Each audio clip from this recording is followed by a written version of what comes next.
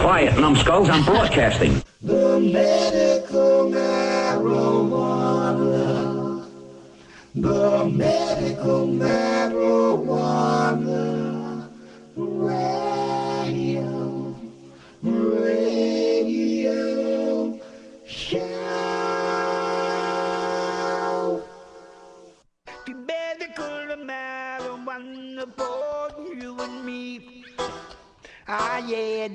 The medical marijuana. Whoa, whoa, whoa, whoa, ah, yeah, the medical. It's the medical marijuana show. You will know.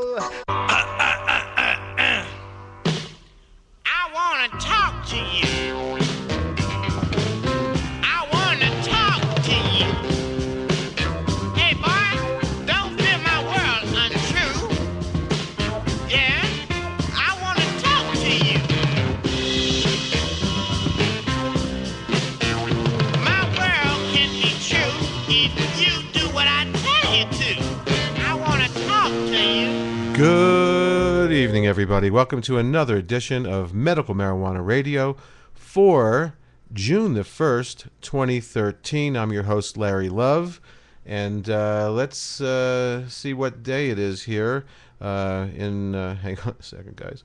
Uh, it is 207 days since Colorado and Washington uh, approved and passed recreational marijuana. Let's see if the president has anything to say after 207 days. I mean, I remember when BuzzFeed was just something I did in college around 2 a.m. It's true.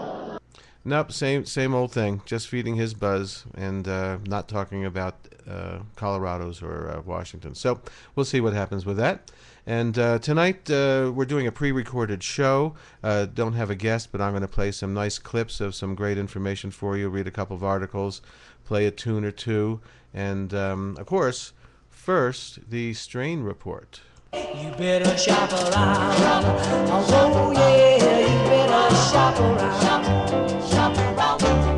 Yes, uh, you better shop around. And uh, here's uh, some of the strains available from uh, some of the New Mexico uh, producers. And uh, first up is Canaceutics. Coming up this week's uh, for Canaceutic is Critical Jack, Holy Grail, Kush, Chem Dog. One of my favorites, the Super Lemon Haze. It's excellent. Lemon Skunk, Royal Moby, OG18, and uh, Vanilla Kush, another favorite of mine. And again, that's from Canaceutics. Um, CG Corrigan coming up this week. They will have their indicas Purple Kush, uh, G13, White Rhino, uh, Purple Kush, and Blue Hell. Their hybrids are Headband and Alaskan Thunderfuck.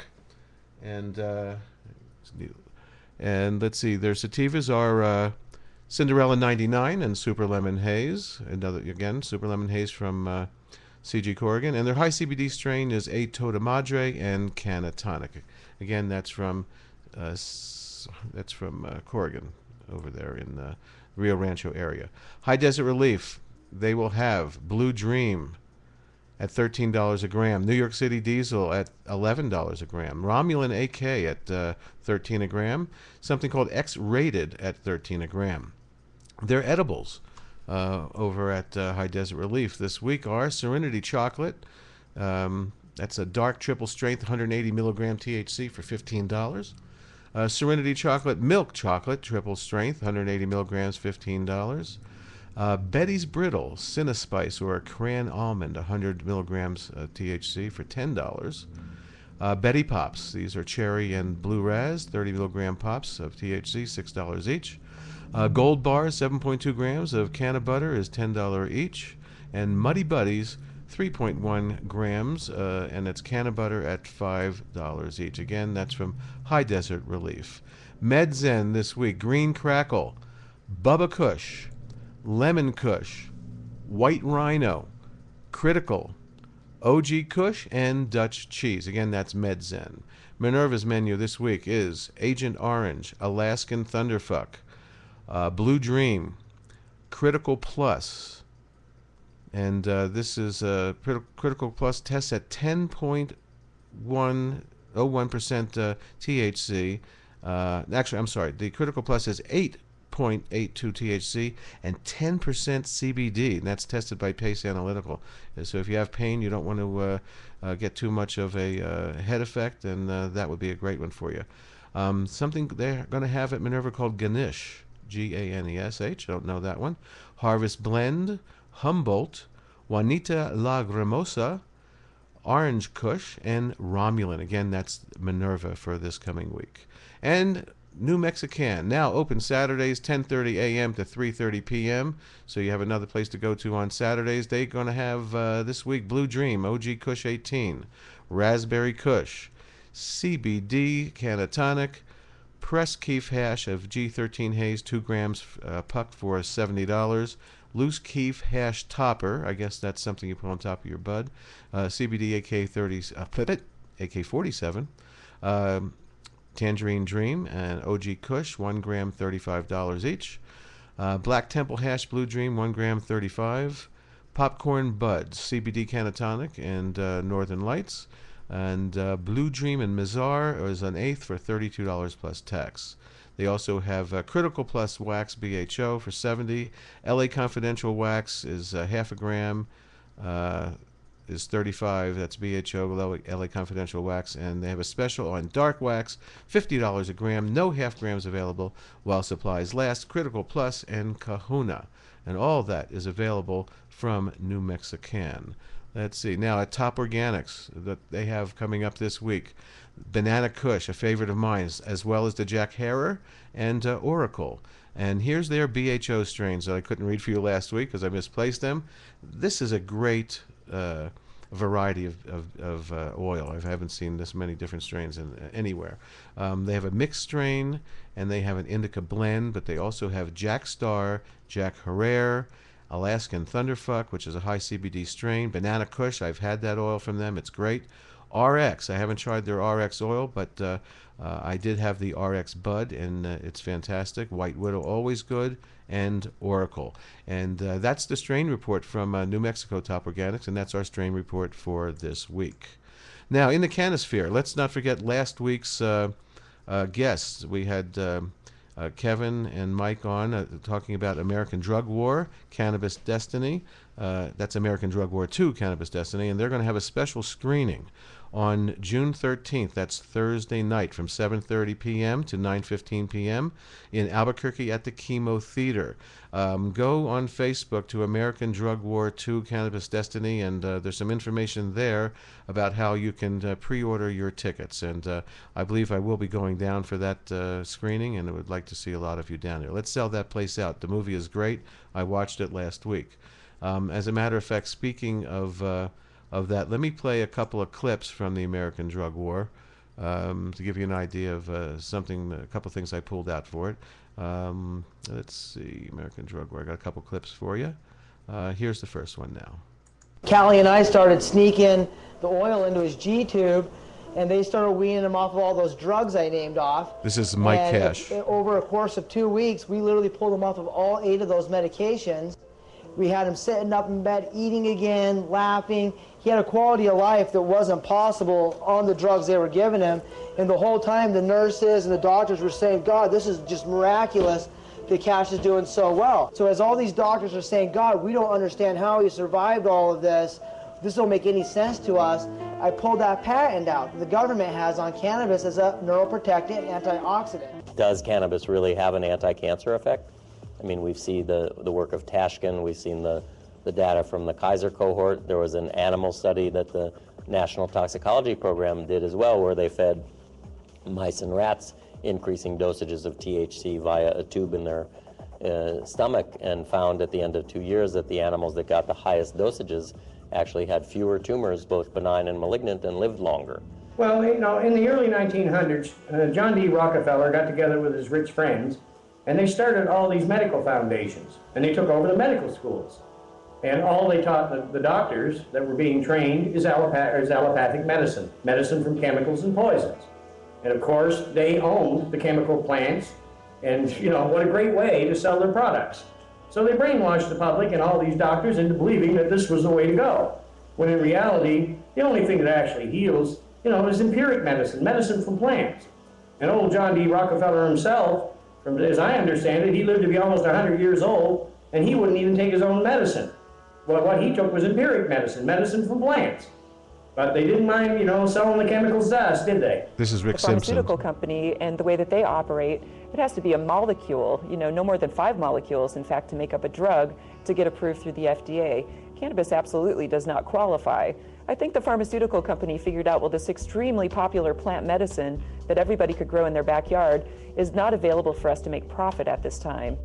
We have this interesting balance occurring as maturation of, of individuals uh, fulfill their kind of cannabis destiny, whether or not they produce enough to be open-minded or closed-minded. And if you look historically at the nature of mankind, we've been ruled by people quite clearly that are what I would call unhigh people. So that's uh, one little clip from uh, uh, from the movie American Drug War II: Cannabis Destiny, and uh, that gives you an idea of the kind of information that uh, uh, they are trying to get out to the people everywhere, all over the world, about how cannabis can help people with their health. Here's another clip that I wanted to play. It's about 33 seconds, and then we'll, I'll talk about it afterwards. Let's see. Nope, I just screwed that one up. Uh, the clip that I, I just couldn't play uh, by accident because I pressed the wrong button was about how um, the United States government, the DEA, have uh, patents on uh, cannabinoids, and they've recently actually just uh, granted one to uh, GW Pharmaceuticals in England um, to to make medicine here. So the hypocrisy here, of course, is that uh, cannabis is a Schedule One drug, and uh, the definition is that uh, a Schedule One drug is a drug that has the um, uh, abuse by people and has no medicinal value. So once again, uh, the the government here in the United States uh, says that it does kill, you know, can kill cancer cells, can reduce tumors. But at the same time, it has no medicinal value, so they're talking out of both sides of their ass, and uh, it's quite a quandary. So we'll have to uh, uh, see what happens with that. That you know, the president's going to have to answer soon to to all of this stuff. Now, um, here's a little clip about how research hope to test some cancer-fighting uh, compound in, in marijuana, which of course is uh, cannabidiol. And uh, here's a little report from ABC News. Well, for thousands of cancer patients, smoking medical marijuana is an effective option for controlling the pain and side effects of their disease. But now a research project that we've been following for several years could be on the verge of using a compound in marijuana to fight cancer itself. Medical marijuana and its psychoactive ingredient THC have already provided relief and often the accompanying buzz for patients fighting cancer. But a little more than five years ago, researchers at California Pacific Medical Center in San Francisco began focusing their attention on a far tamer compound in the marijuana plant. This is cannabidiol. Cannabidiol is a non-toxic agent from cannabis that is also not psychoactive. Sean McAllister and Pierre Desprez are producing a synthetic version of cannabidiol, also known as CBD, which they say targets a specific gene in the body related to the spread of cancer. We found that this one CBD had a specific effect on uh, metastatic uh, cancer cells, very aggressive uh, tumor cells. In their recently published study, the team documented that effect on brain cancer in a large scale animal study. They say the images on the bottom row show dark tumor cells shrinking after they used cannabidiol to switch off a gene regulator. And then when you treat it with the drug, it drastically reduces the size. Desprez believes the effect may have to do with a natural defense mechanism in the plant that protects it from insects. There are some compounds that uh, fight the development of the insects, for example. And the gene we found, which is very important in cancer progression, in metastasis, is actually a gene very important in the development the, of the embryos of the larvae in insects. The team believes the current results, coupled with the non-toxic nature of CDB, is now encouraging enough to warrant human trials, which they hope to secure funding for in the upcoming months. And you can develop a drug that's effective at targeting cancer. It's really a great tool, sort of in the arsenal to treat cancer. Now, at this point, it is not clear when human testing might begin, but the team has designed two trial models, one for brain cancer, the other for breast cancer. So uh, you know the information keeps coming in as long as people are allowed to uh, to do trials and studies, and of course there will be more of that coming uh, now that uh, Washington and Colorado are legal for recreational. People and organizations could uh, actually move there and do trials and uh, and get that information out to the people. And again, that last one was from ABC News. this next one's a very quick one, but it has to do with how marijuana may be the next diabetes drug. And this is from time.com. This is no slouch, time.com.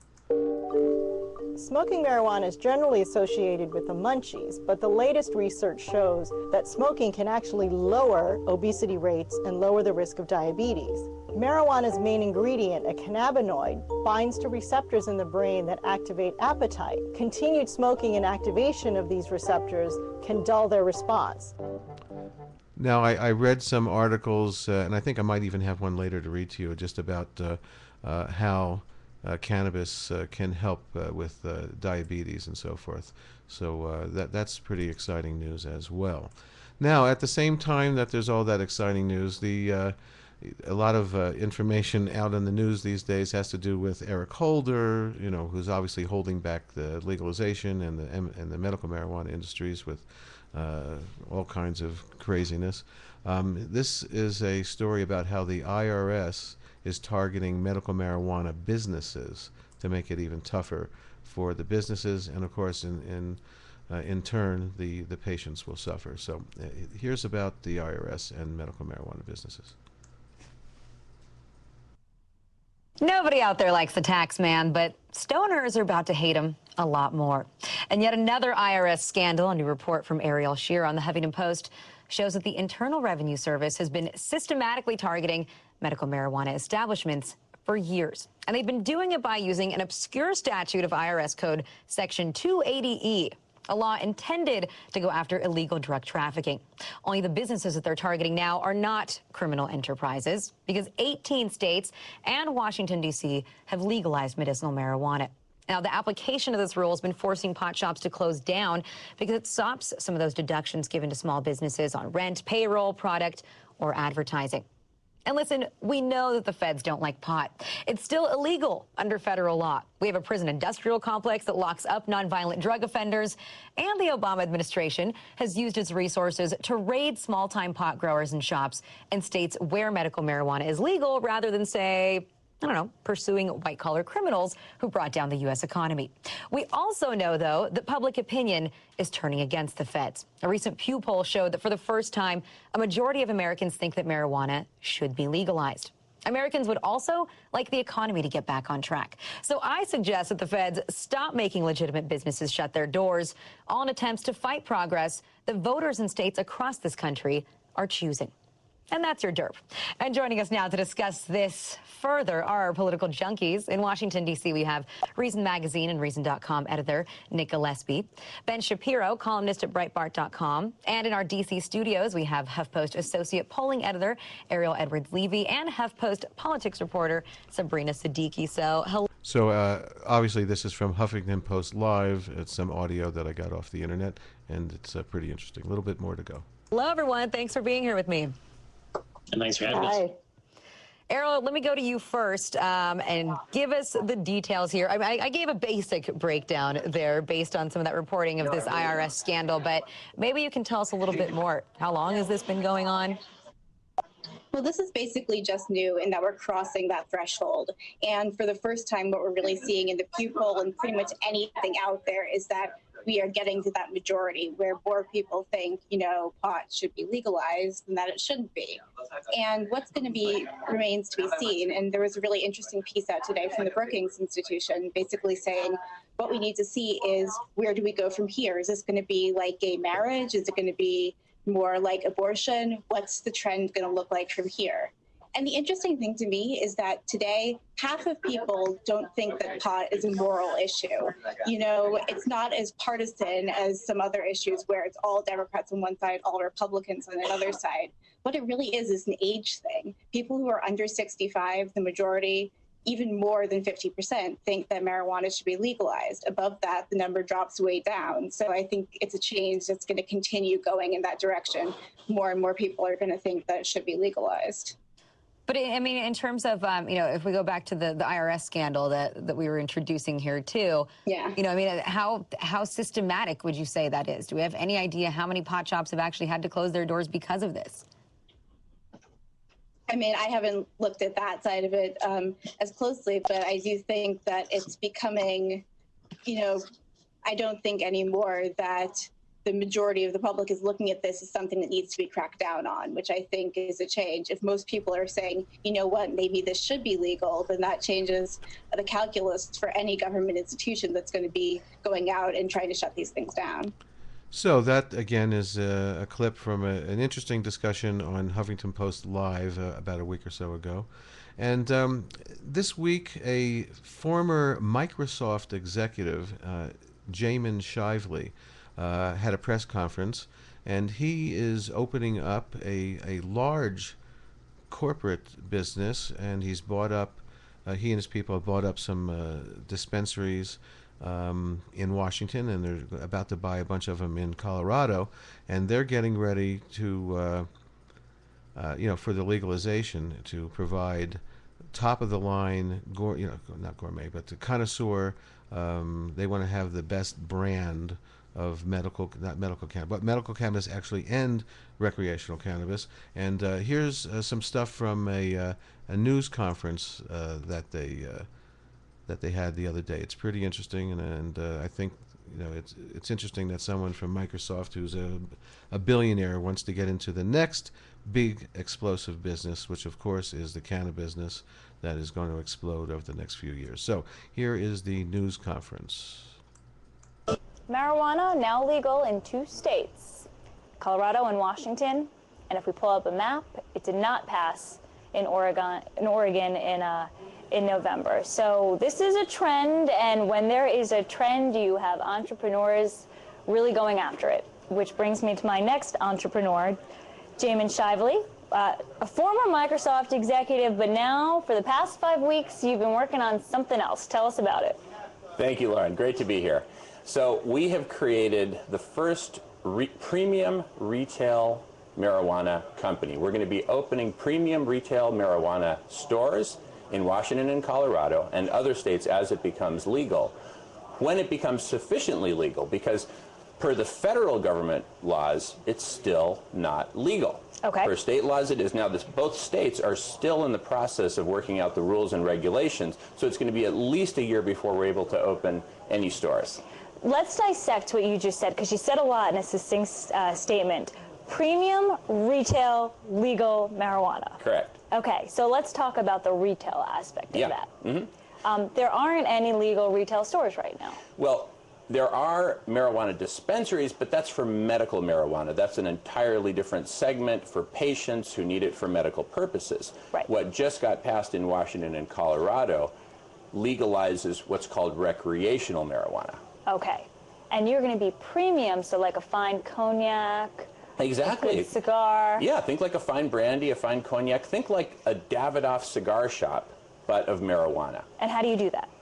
Well, the way we do it is we get premium retail locations. We have a bunch of rules and regulations that we're going to need to conform to, a lot of quality standards, and the states of Washington and Colorado are still working all that out. So It seems like a headache. It, it is. It's it's a lot of work. Um, but the thing here's the thing.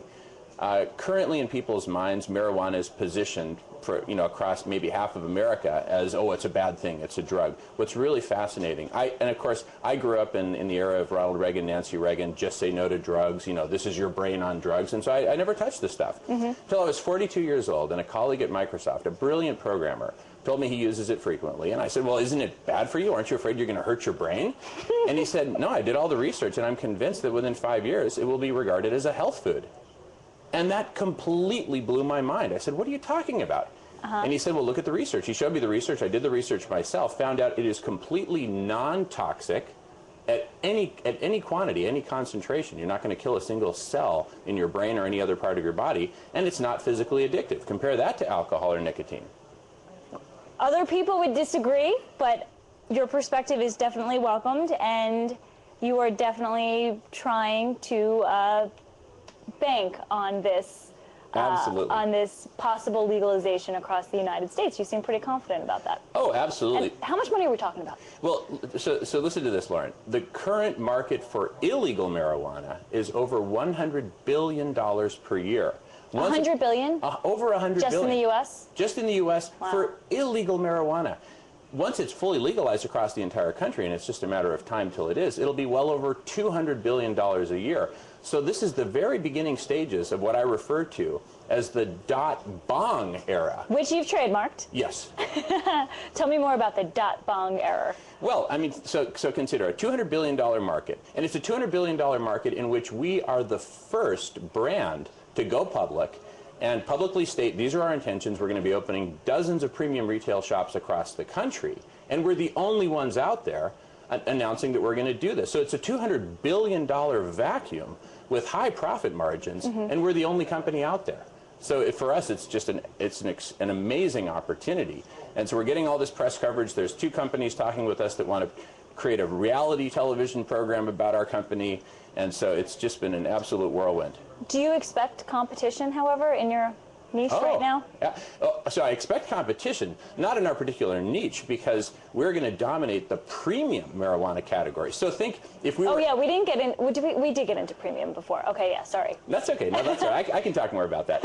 But but so whereas in alcohol you've got you know everything from the very fine wine all the way down to malt liquor. We're mm-hmm. at the fine wine end of the spectrum, but for marijuana, we expect a lot of competition in what's called the value segments of the of the of the industry. But we expect to, to be head and shoulders above everyone else for premium. And and and premium. I'll just mention a couple things about that since you Mhm. raised it.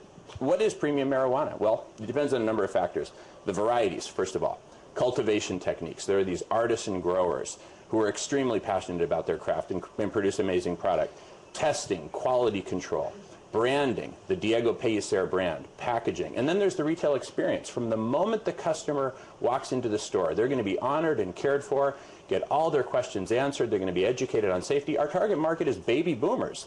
Most of whom, most of whom have never tried the product because they're law-abiding citizens. Some of them may have tried it 30, 40 years ago. Maybe they didn't inhale, right? But now it's safe to inhale.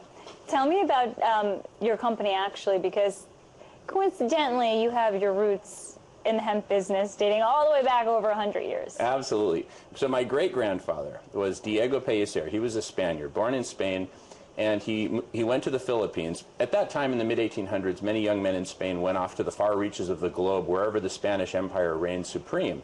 Now, the, the biggest and most important Spanish colony in Asia was the Philippines. He became the vice governor of the island of Cebu in the Philippines, and Mhm. over time, he became the largest grower of hemp in the world. So I literally have marijuana in my blood, so to speak. you never knew it would come in handy, did you? I did not know. So interesting. And and quickly, taxes Yeah. on all of this. Oh, yeah. How much are we talking in state taxes, even possible federal oh, taxes? Oh, goodness. In the state of Washington alone, which is one of the smaller states of the country, uh, we're looking at $2 billion over five years in tax revenues that goes straight to the state's coffers. For California, it'd be well over 10 billion over the same period of time. So there's a huge boon to the economy, but that's just the tip of the iceberg. We're currently, in the United States, currently over 800,000 people are being arrested every year for possession of a non-toxic, non-addictive, naturally occurring Mhm. plant. There's 80,000 people behind bars. Lives are being destroyed for no, no logical reason whatsoever. It's a lot safer than alcohol. And so the, the, the government's going to save money at all levels. The people are going to be free, and it's going to create over 100,000 jobs. So um, that's James uh, Jamen Shively, a former Microsoft executive, and um, that was an interview that he did. I can't remember who that was with, but uh, I think it was one of KIRO, uh, one of the big uh, TV stations up in uh, Washington State. But now here's a, a four-minute clip of his news conference that he held a couple of days ago uh, with Vicente Fox, who is a former president of uh, of Mexico, who who is supporting legalization and who thinks that uh, uh, it would help both countries if uh, if we all legalized all around the board. So here is the news conference making the announcement about uh, uh, Jamen Shively's new business that you just heard a little bit about in that last interview. Here we go. All right. Welcome, everyone. Thank you all for being here. Before I introduce our distinguished guests, I would like to begin with a quote from the late astrophysicist Carl Sagan. The illegality of cannabis is outrageous, an impediment to full utilization of a plant which helps produce the serenity and insight, sensitivity and fellowship so desperately needed in this increasingly mad and dangerous world. Carl Sagan.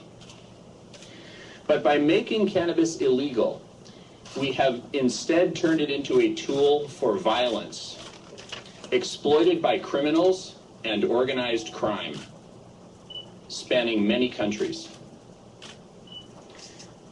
Ladies and gentlemen, this is a unique moment in history. The Berlin Wall of the prohibition of cannabis is weak, and it is crumbling as we speak.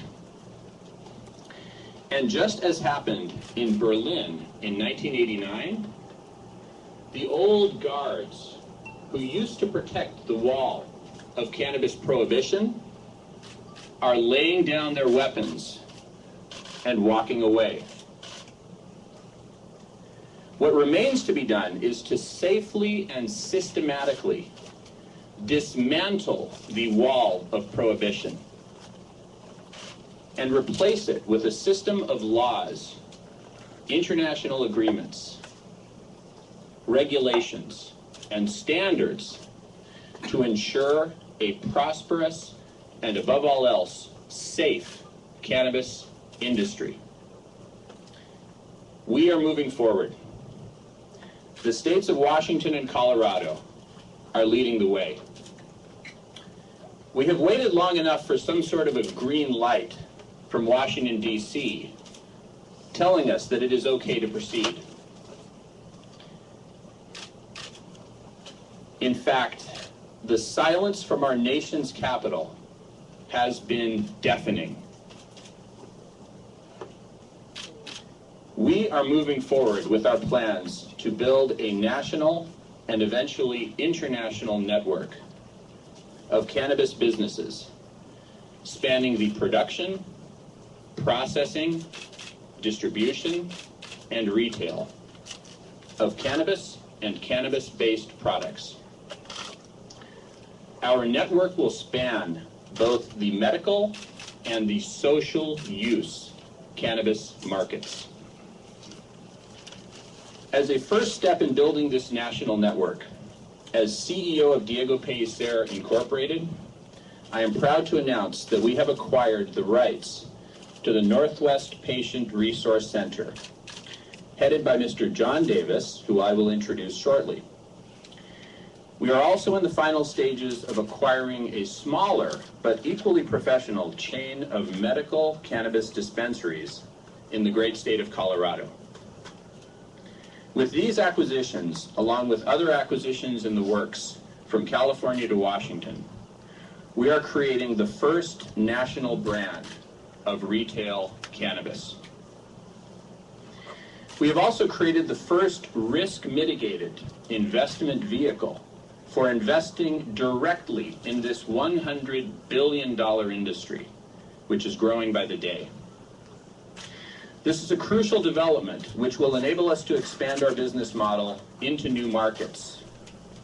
Our expansion will be cautious and measured.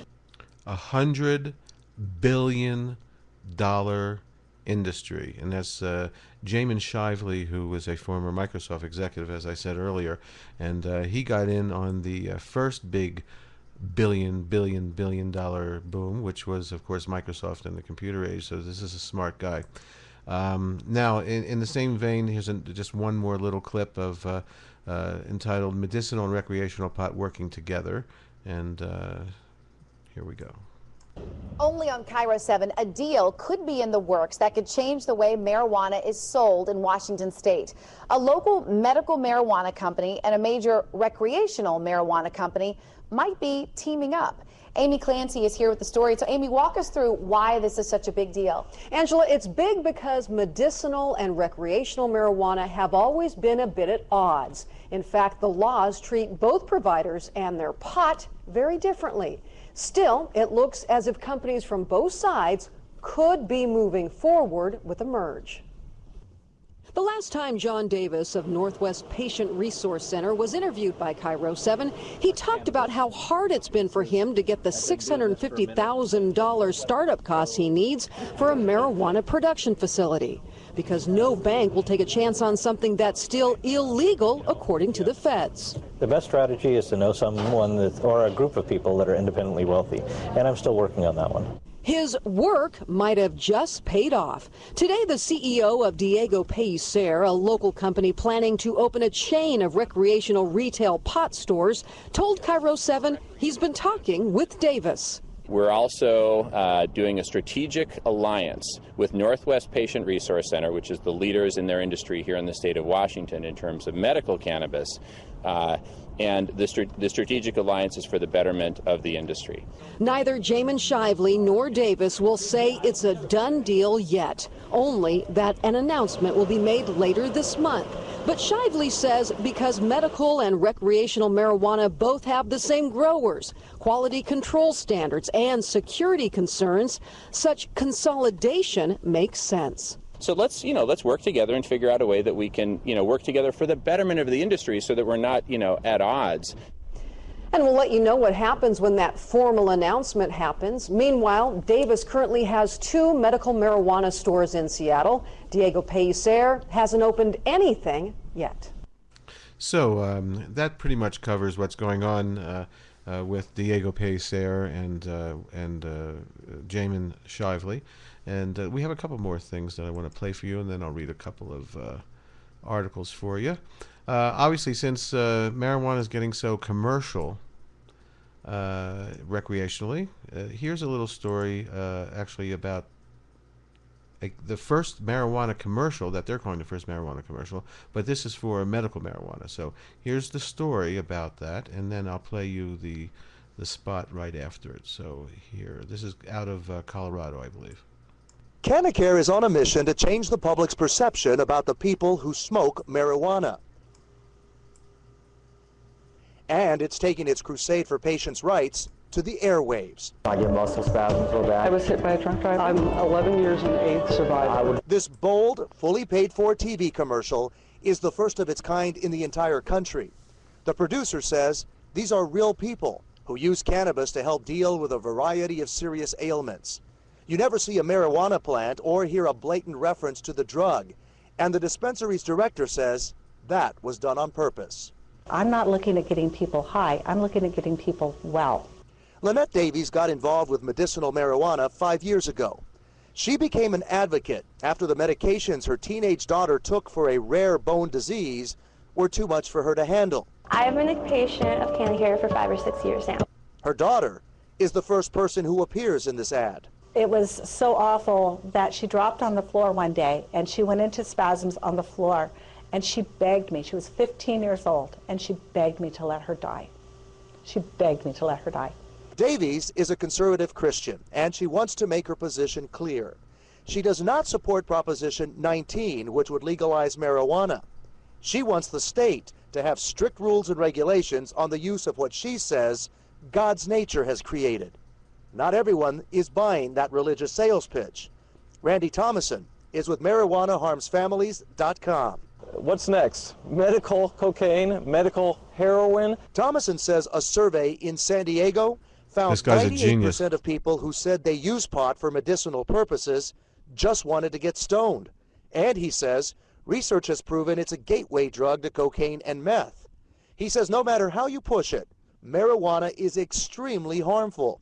And this ad is purely dangerous propaganda. This is going to harm people if they get used to it.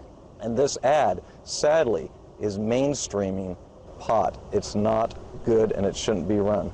Our Don't you love these uninformed people that uh, go out there and say stupid things like that?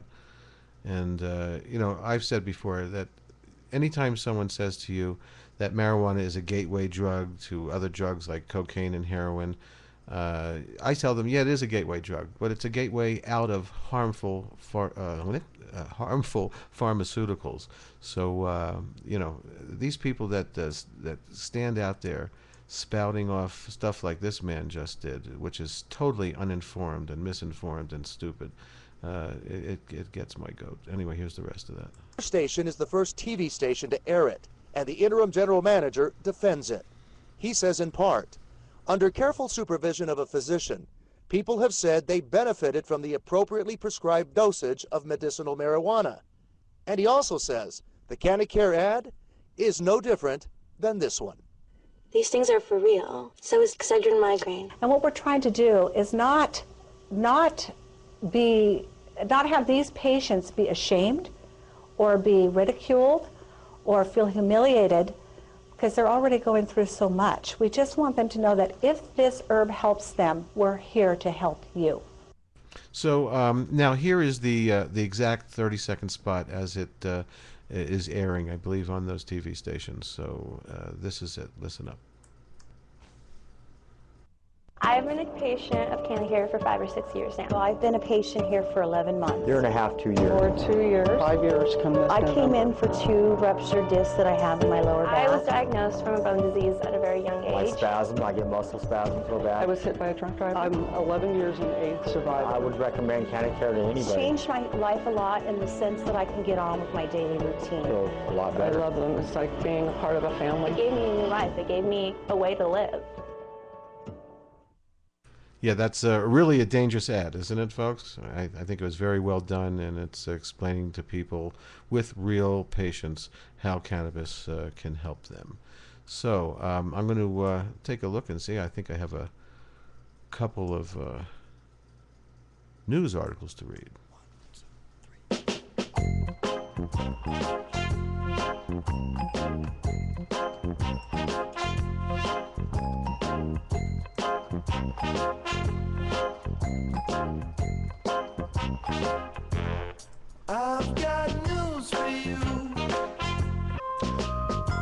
So uh, I've got news for you. This is uh, an interesting story trying to uh, promote the benefits of cannabis. And this is, uh, I'm reading this off of uh, the Joint blog uh, online there. It's thejointblog.com. But the story I've seen featured all over the news in the past week or so. from Michigan to the White House, marijuana activist plans to roll wheelchair 520 miles for legalization.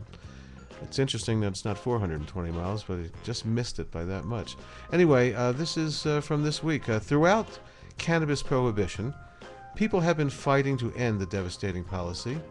Now, Curtis Kyle, a Michigan resident and cannabis activist, is gearing up for a demonstration to declare the legalization as the only rational option. Curtis is preparing for the first ever cannabis roll he is going to roll his wheelchair from his front door in Taylor, Michigan, to the White House in Washington, D.C. The 520 mile journey uh, in support of legalization is scheduled to begin June 14th and will end on July 4th, Independence Day, at the front door of the White House, where Kyle hopes to have an opportunity to speak to President Obama about the necessity of cannabis legalization, uh, as stated in his letter to the president. And um, I will read you his letter to the president. Dear President Obama, my name is Curtis G. Kyle, and I'm writing you as a concerned American, but most of all, a concerned parent in regards to the current state of our country. I'm a 52 year old single parent and have had over, and had to overcome many challenges in my life due to being born with cerebral palsy, which has confined me to a living to find me to living my life in a sitting position since I am confined to a wheelchair. I was really excited when you ran for office of the President of the United States because I also believed it was time for a change in American politics and our country as a whole. I am compelled to carry out the mission that my late father, Charles Curtis Kyle Jr., started over three decades ago with an organization that he founded called United Marijuana Smokers of Michigan. My father was an auto worker who became addicted to alcohol like many other Americans. It did nothing but practically destroy his life. It wasn't until my father stopped drinking and started using cannabis did he realize that using his words, this plant is truly a gift from God, Uh, he would do research and would find out that cannabis was also good for many other things, including that of medicine for the sick, uh, and could even help repair major damage done by our planet by the human race, just to name a few. He was dedicated to legalization of cannabis and vowed to tell the truth about this plant and see that it was legalized. In my opinion, your first term as president was a rough one, and I applaud your efforts trying to revive our American economy. I like the fact that you have an open door policy when it comes to inviting citizens to the White House that have an innovative ideas and that can help get the United States on the right track again. We need a country where it is safe to place our children and many generations to come to have a chance to achieve the American dream. I am not rich, I am just a regular American, and I have many common sense ideas that can save the planet as a whole after we are all after all, we are all human beings. I live in Taylor, Michigan, and on June 14, 2013, I'm going to roll my wheelchair from my home to the front door of your house, the White House, and I plan to arrive there on the 4th of July to discuss the legalization of cannabis and many other issues to stimulate and repair not only our economy, but the planet as a whole. If you truly have an open door policy, I invite you to meet me at the White House and allow me to show you my plan to bring peace, prosperity, and end poverty in our country and save the planet. I hope that you will take a few moments to meet me. God bless you and your family. Sincerely, Curtis G. Kyle. And uh, again, this uh, gentleman is from Michigan and uh, will be starting his, uh, wheeling his wheelchair to uh, Washington, D.C. on the 14th of June. Now, let's see what else I got for you here.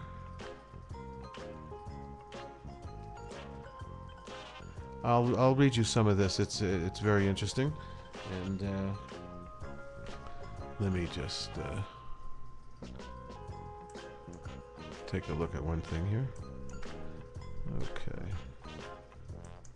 So uh, this is entitled uh, marijuana cannabinoid slow brain degradation and aging and reverse dementia.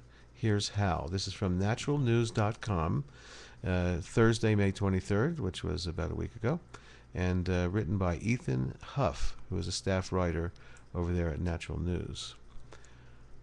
The human brain contains extensive network, an extensive network of uh, special receptor sites that modulate nervous system function only when activated by the appropriate cannabinoid compounds, many of which are found in abundance in the marijuana plant.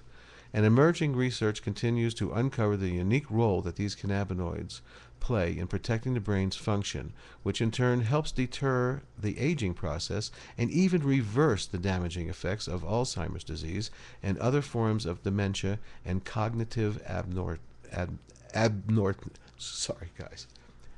Abnormality ab- no. Abnormality. There you go. Abnormality. Uh, yeah. Okay I did good in school uh, one of the latest discoveries concerning cannabinoids involves their ability to act as antioxidants in the brain.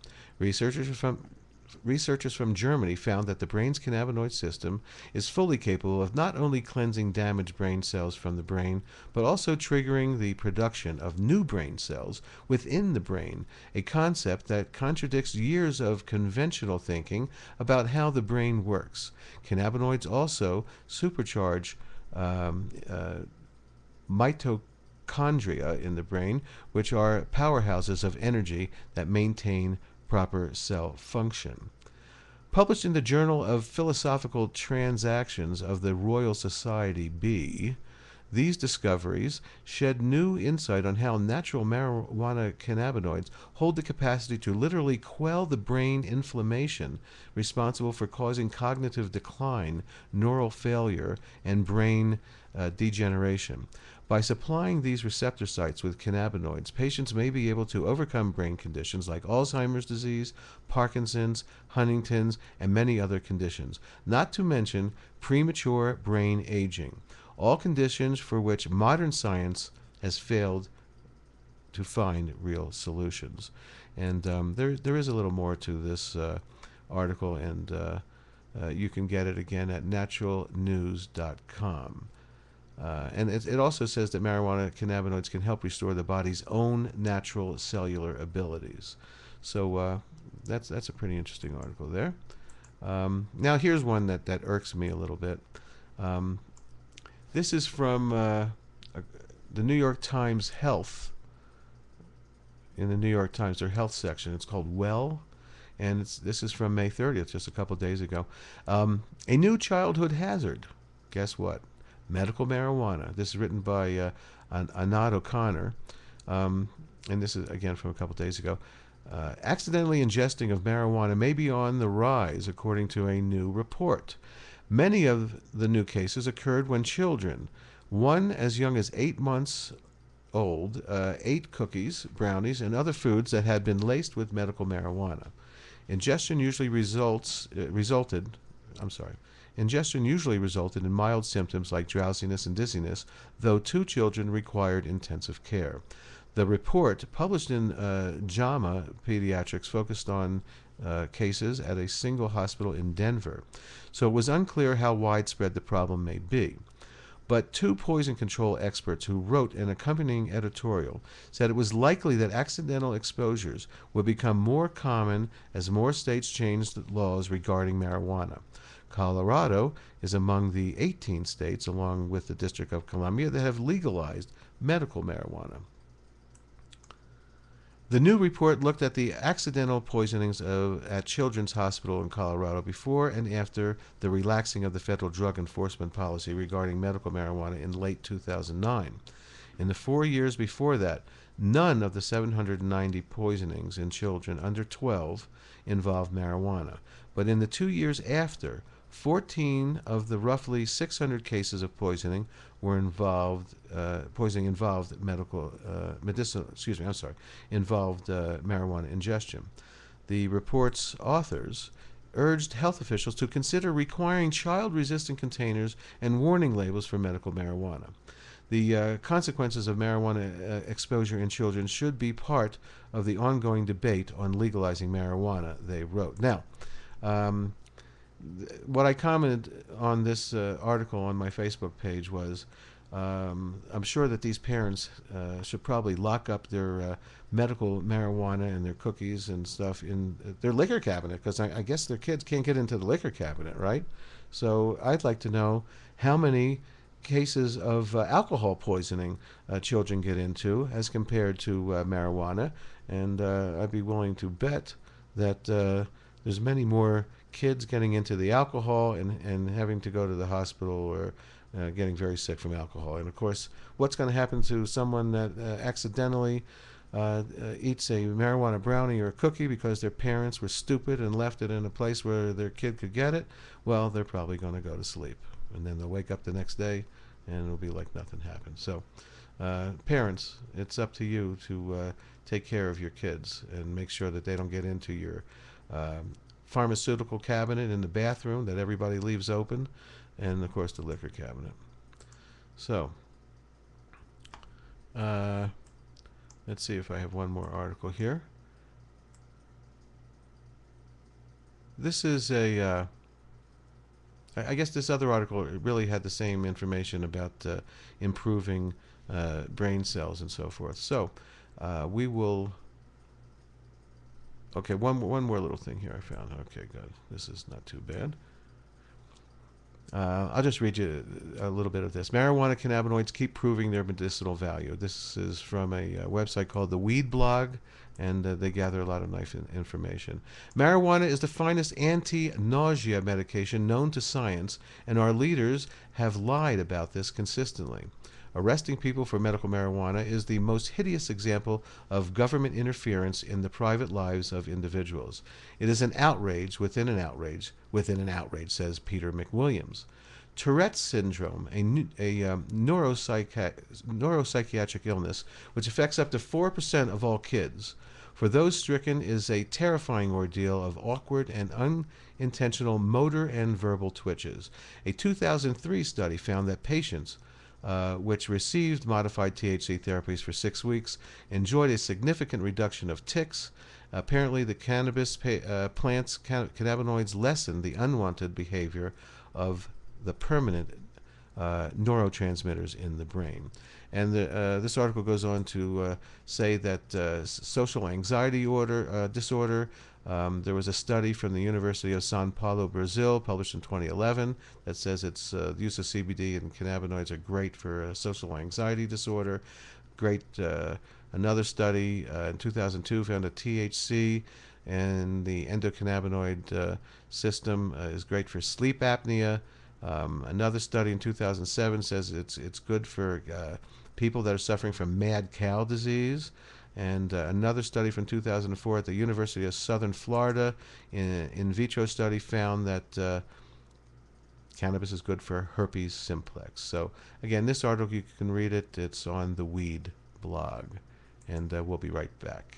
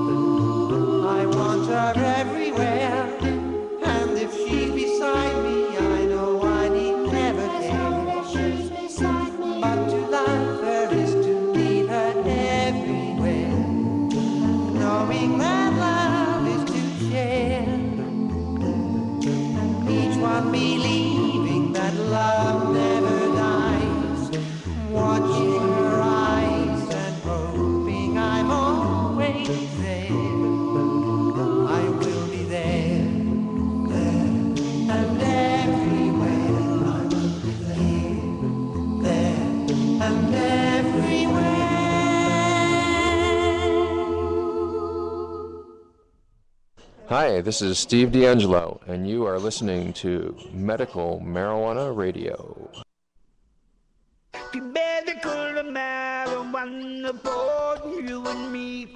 Well, thank you for uh, listening to this pre recorded show. We'll be back next week, uh, I hope, with another great guest and more news and information for all you about how cannabis can, can really help.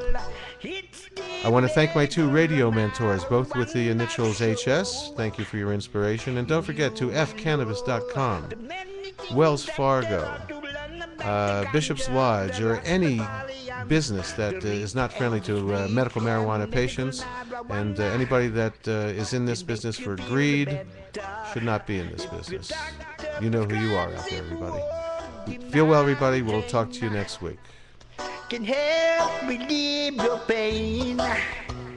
Whoa, the marijuana can make you feel much better. Yes, the medical, medical, the medical, the marijuana for you and me.